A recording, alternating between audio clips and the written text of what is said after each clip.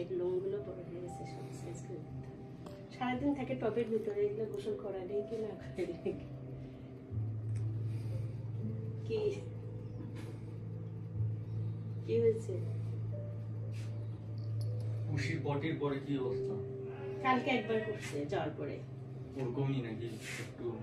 ওই যে মানে লিকুইড না একটু ঘন হয়ে আসছে।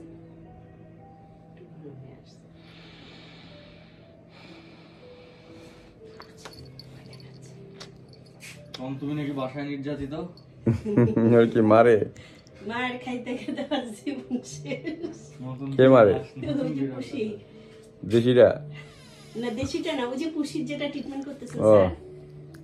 যে যেটা স্যার অ্যানাস্থেসিয়া দিয়ে গোসল দেওয়া হইল হ্যাঁ। কাউকে যে হাত দিতে দিচ্ছিল না ওইটা স্যার। যে নতুন কাটাবন থেকে আনেই দেখে ডায়রিয়া ঠিক হয় না। আচ্ছা, আচ্ছা। চলার পর এখন একটু সলিডিফাই হয়েছে হয়েছে আচ্ছা। তাহলে সাংঘাতিক মিক্স ইনফেকশন ছিল এই জন্য হয়তো সময় লাগছে।